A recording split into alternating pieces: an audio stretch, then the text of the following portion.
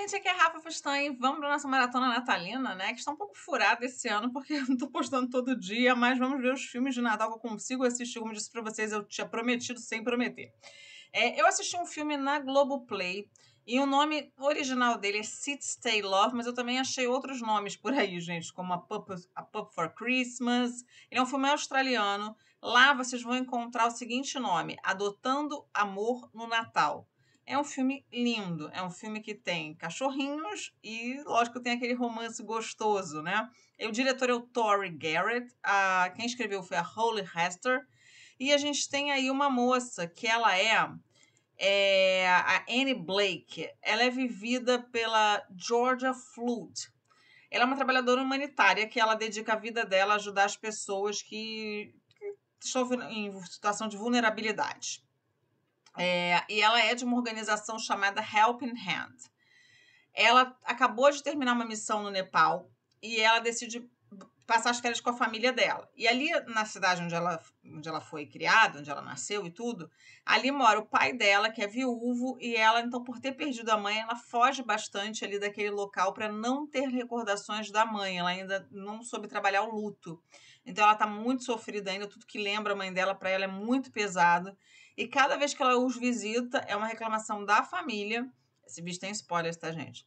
É, é uma reclamação da família de que ela fica pouquíssimo tempo. Então, a tia comenta, a irmã que tem uma sobrinha que ela adora comenta, o cunhado comenta, mas ela segue ali ficando o mínimo de tempo possível. Só que dessa vez ela avisa que ela vai ficar duas semanas em North Haven, em Vermont.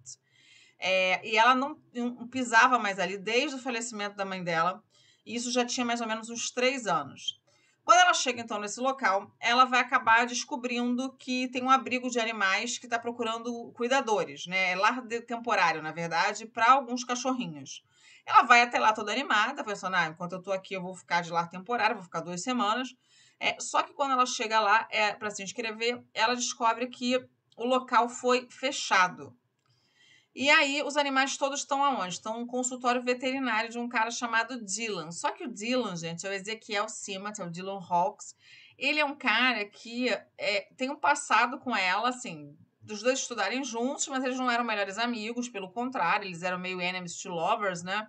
E aí ele tinha uma quedinha por ela sem nunca ter confessado, então ele implicava bastante com ela, e ela não tinha as melhores recordações dele.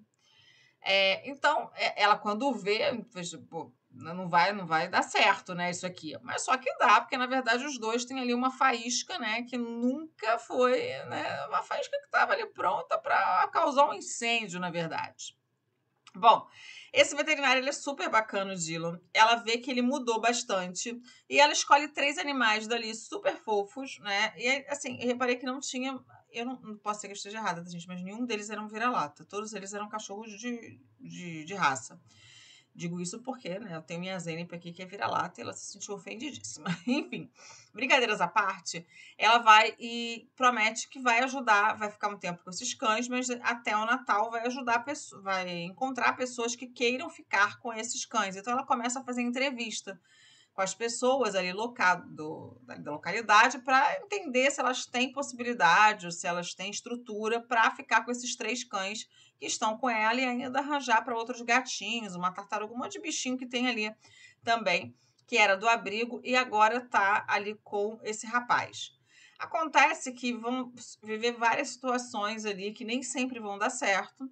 Ela vai acabar se apegando aos bichinhos e se apegando ao veterinário. Só que, assim, por ser filme de Natal, gente, não esperem, né? Lógico, pegação, nada disso, porque vocês sabem que a árvore é montada, mas daí ponto, né? Negócio de a bolinha fica ali parada, não pode botar uma estrela no topo, porque não dá certo.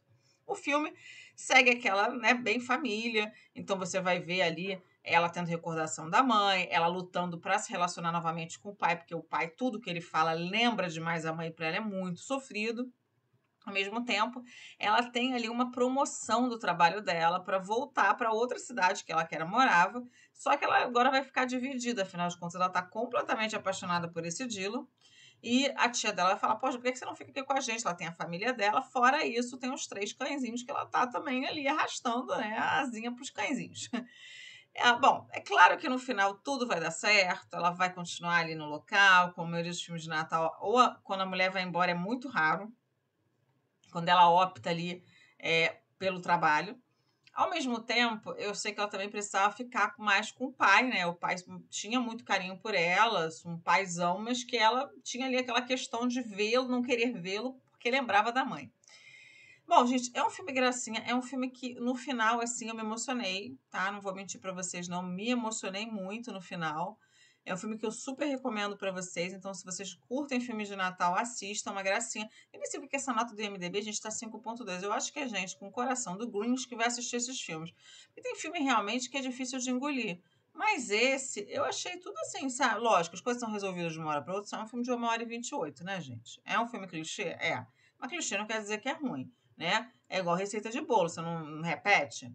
Ah, se, o bolo tá gostoso, você vai inventar outra coisa, de repente o ingrediente não vai ficar bom. Então, né, tem gente que arrisca e tem gente que mantém a receita do bolo. Então, eu gostei da receita do bolo, realmente o bolo tá gostoso. É isso, gente. Eu vou ficando por aqui. A nota para que ele é muito bom. Fui!